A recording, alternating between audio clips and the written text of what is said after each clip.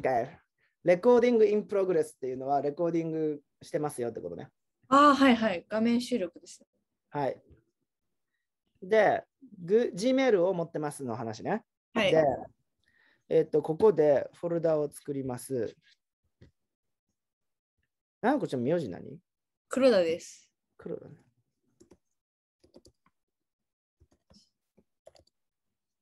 いしょ。で、ここにできて、これを私はシェアをしたい。これ画面見える？あ、見えてないな。うん、俺の顔だけ見せたね。今見える？はいはい。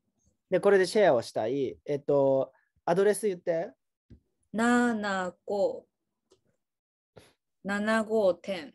75。点は点ル、ル、あ、それです、それです。あで、775。775。で、これ何ですか、こういうの。アットマーク Gmail? そうで、Gmail コム。これね。はい。じゃあ、ここに入ってください。メール来たらそこ入るみたいなのあると思う。ちょっと待って。は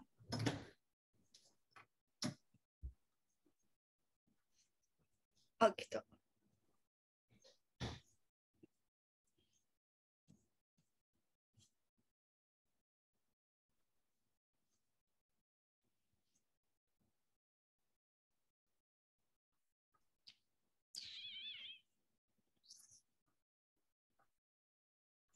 ああ。Google ドライブ。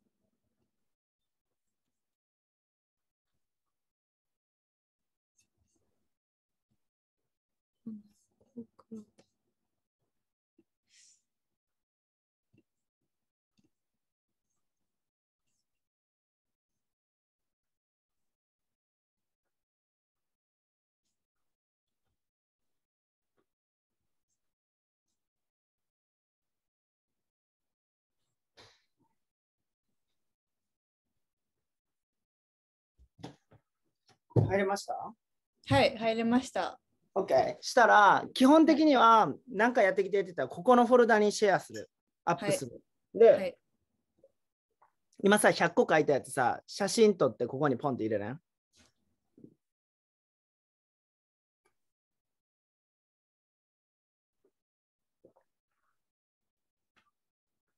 これ携帯からもできますよね。できるし、エアドロップであぶっ飛ばしてもいいよ。あ、確かに。で、留学のポコツはね、パソコンと携帯を使いこなすっていうのすごい大切だき。うんうんうん。OK。もうデジタル業界だけね。もはや。えー、っと、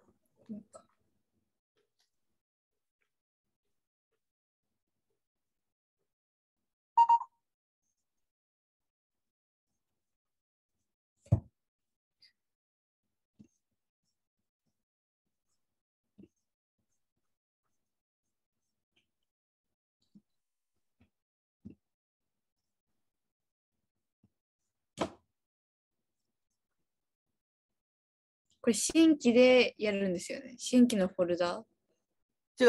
えっとね、ドライブ行くじゃん。だ、いそしたら自分のフォルダ見えるこうやって。あ、見えます見えます。そうです。で、 Drop files here って書いてるがけど、俺の場合は、クリックドラッグでポンって入れる。か、右クリックして、ファイルのアップロード。ファイルのアップロード。はい。右クリックして。ファイルのアップロード。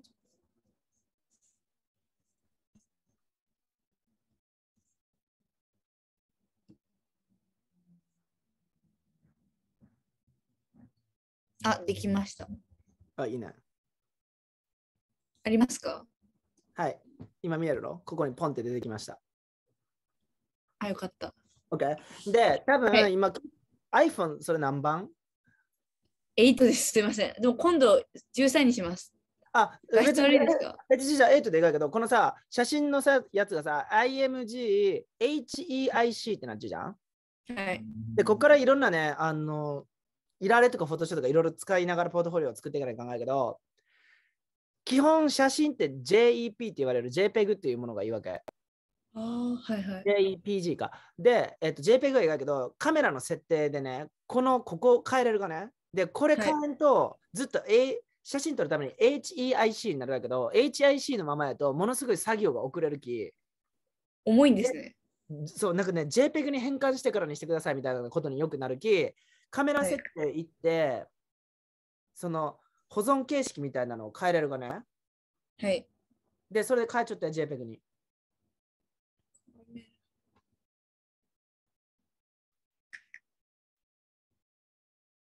えっとね。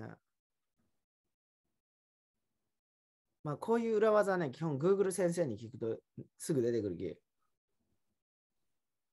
あの、iPhone カメラ、えっと、保存形式 HEIC から JPEG へみたいなの言えば、すぐ変えてくれる。はい。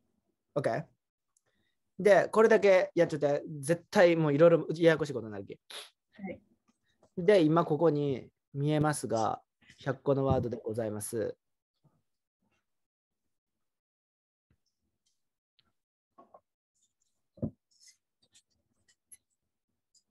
右下は全然出てきませんでした。広がらなくてそこだけ。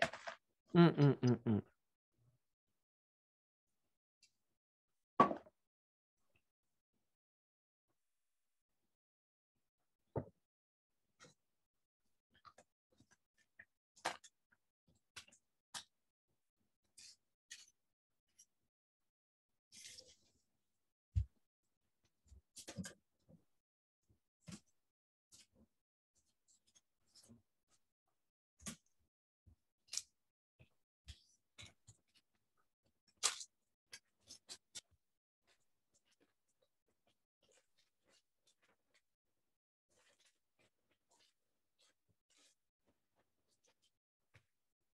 愛が2回出てきたね。2個ありますか？2個ある。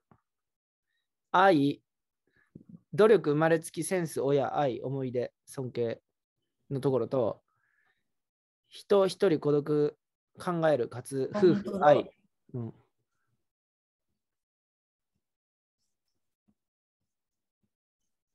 力、コンテスト、またさ、この結婚で同性婚が出てさ、その反対側にも LGBTQ が出てきちゃうよね。セクシャリティとかさ、うーん。パートナー制度。本当だ。で、愛情もあるね。また。なんか愛情、愛系とかも気になるわよね。ん。動物、犬、中国、経済。これどうなった？動物やな、犬やな、中国？なんか中国の友達がうん犬食べるって言われたんですよ。犬こうかわいい犬かわいいって私動画見てたら美味しそうって言ってきて、えみたいな。で、それで出てきました、それで。冗談やろ、その人。まあ食べ言うかもしれんけど、美味しそうは。うんうん。美味しそうも本気な。それは嘘やろ？わかんない。本当かもしれない。それはないはず。え、嘘。魚食べ言うけどさ、日本人もいっぱい。魚を泳ぎる姿見て美味しそうと思う？確かに。なんか料理食べちょって美味しそうや。うんわかる。それは多分国のあるあるの冗談だと思う。なんかうんナンセンスな冗談やね。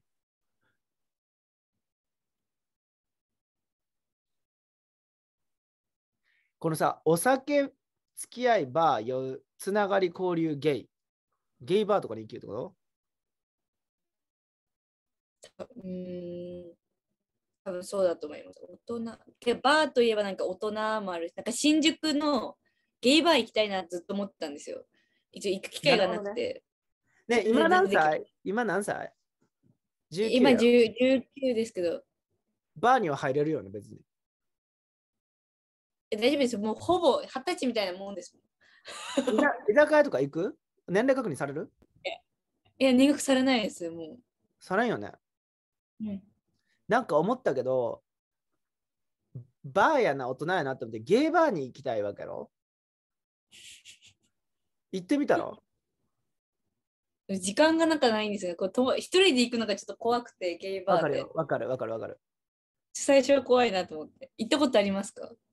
ゲイバーは、日本、日本、俺、日本のゲイカルチャーがすごいあんまり交流がないがよね。あでも外国のあれですもんね。ありますもんね、そういうの。うん、てかこっちでファッション、まあ自分が知るっていうのもあるけどさ、あの例えばやけどさ、日本やったらさ、俺全然ファッションじゃないキャリアの方が長いじゃん？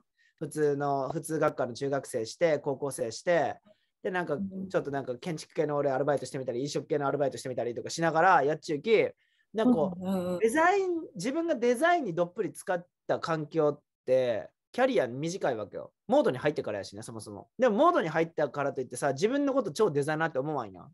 入った瞬間から。うんうんなんか、これからかなって感じやきさ、いろんなバイトとかするじゃん。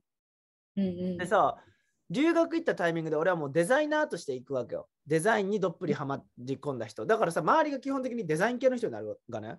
わかる、えーだから飲食でバイトせんきさ、飲食系のバイトの人とも知り合わんじゃん。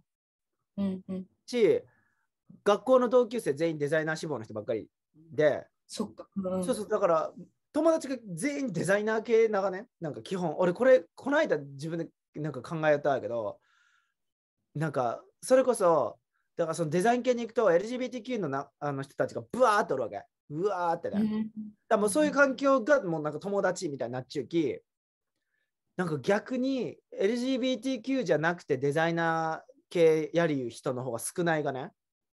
ああ、そうだから遊び方がし自然とそっちになるっていうのはすごいあるね。楽しそういいな。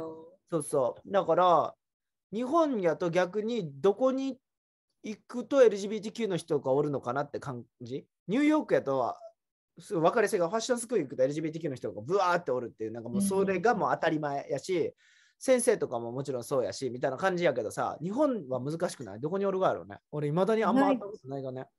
確かに。そうだから新宿2丁目とかに行くと会うのかなって思いつつも知り合いおらんきゃいたことないね。わかる。って感じかな。だから、でも LGBTQ のゲイの友達とかが欲しいが楽しそうって思うわよ。なんか喋ったことはないか興味があるみたいな、そういう話題とかに。一回そうどういう考えなんだろうみたいな。いろんな人と喋ってみたいなっていうのがあります。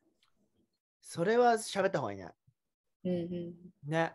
なんか思うけど、例えばね、LGBTQ のトピックとかさ、俺は LGBTQ に特化したトピックで、ふあの服作りとかしたことないけど、あの自然と俺は人間にすごい興味があるき、人間リサーチをニューヨークでしたことがあって、うんそのプロジェクトで LGBTQ の人がほとんどやったわ。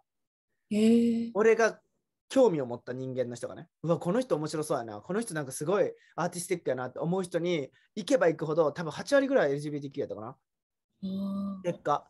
で、そこでなんかこういろいろ学んだことがあるわけ。あこういう人間のあり方って素晴らしいなとか、人間ってなんかこう、こういう、例えばね、LGBTQ で俺がね、一番なんか、どうやって理解したらいいかやろうってすごいなんか最初びっくりしたのというか、なんかこう自分の中で違和感ずっとあったのが、なんかこう、例えばさ、セクシャリティですって言われた時さ、LGBTQ 全部説明してって言ったらそれも難しいじゃんうん。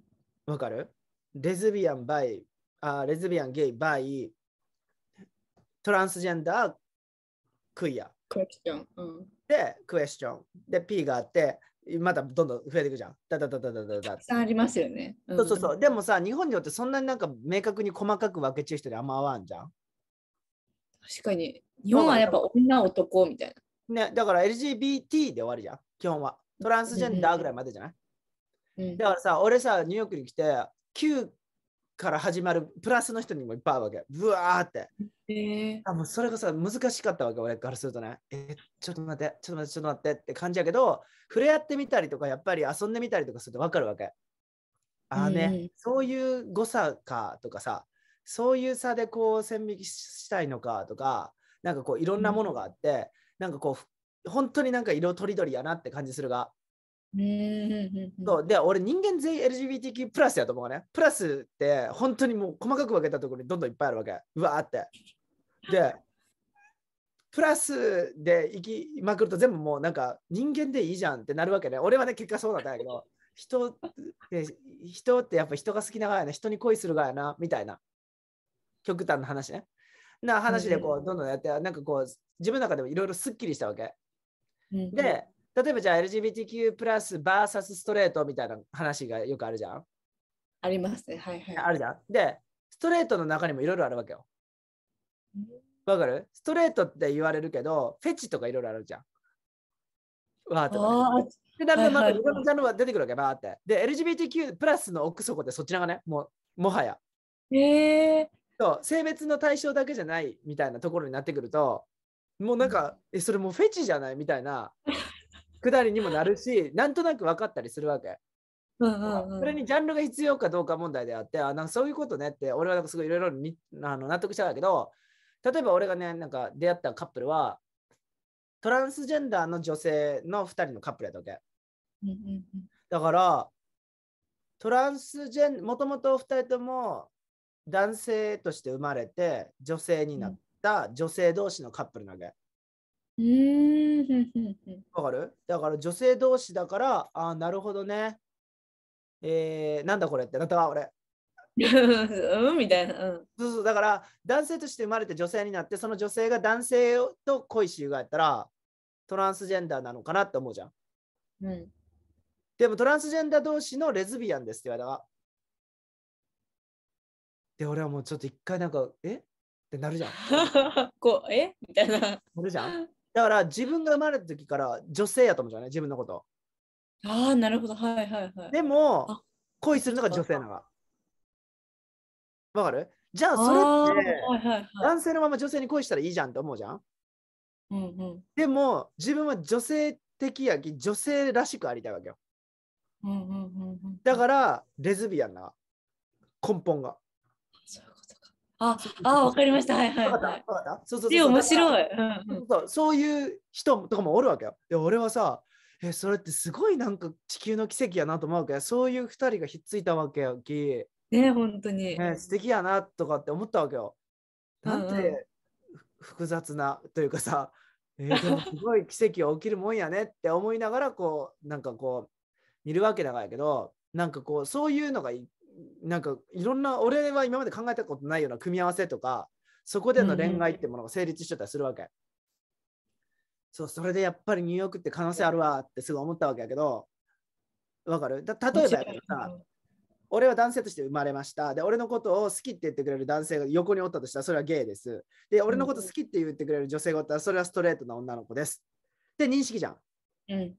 でも違うかったりするが？え？そう。でも違うかったりする場合とかがその LGBTQ の奥底の部分あわかる？そう。だから、え、もうだから結局はだからその正規で話し合う話じゃないわけ。わかる？あ。うんうんうんもうなんかそこにはいろんな組み合わせがあるがね。で、例えばやけど、俺はどう考えても女性やと、まあ、正規的にも女性の女性がおって、うん。その人が俺のこと好きって言ってくれるけど、あ、普通の恋って、世間的には見えるのかもしれないんだけども、例えばね、可愛らしい男の子のこと好きな女性おるじゃん。うんうんうん。そういうのもカテゴライズに入れ出したりもするわけ。なんかこう、あなたのことを男性、男性的な男性だと思って惹かれるんじゃなくて、中性的な男性に恋をする自分はジャンルだから、あなたにも恋することできるし、性器が女性器だけど男性的な人にも恋ができます。うんうんうん。みたいな。。じゃあそれってバイセクシャルじゃんって思うわけ、俺からするとね。両方に恋するバイセクシャル、さバイセクシャルじゃんって思うがやけど、いや、そういう話じゃなくて、みたいなこととかもあるわけ。すごい、もうなんか、広がりがすごい、もそうそうそう。だから、うんでもフェチじゃんみたいな、わからんけど、なんかそういうのあって、まあ見てみることによっていろいろ学べるわけよ。だから、宇多田ヒカルさんの話にこの間もしたけどさ、はい、自分はい。はノンバイナリーですってこう自分は言ったわけやけど、ノンバイナリーって女性的、世間で言われる女性的であるって自分の自信認識があんまり宇多田さんの中にはないっていう話で、で、じゃああなた男性になりたいのって言ったらそうでもないわけ。うんうん。で、え女性として扱われるのにもなんか違和感感じることあるし、じゃあ男性として扱われたいかって言ったらそういうわけでもない。じゃあなんだろうってかったら無性別として扱われるのが一番心地いいなっていう話。でもノンバイナリーだからといって無性別な人がどの性別と恋してもいいじゃん。別に。うん自分はノンバイナリーの無性別の意識だけど、男性に心惹かれる。だから世間一般的にはストレートとして見られるわけよ。だけども自分的にはすごい女性的であるってことに対して心地よさはあんま感じてない。とかね。そうなると、えもうややこしくいいだけじゃん、それって思うじゃん。た本当に。わかる？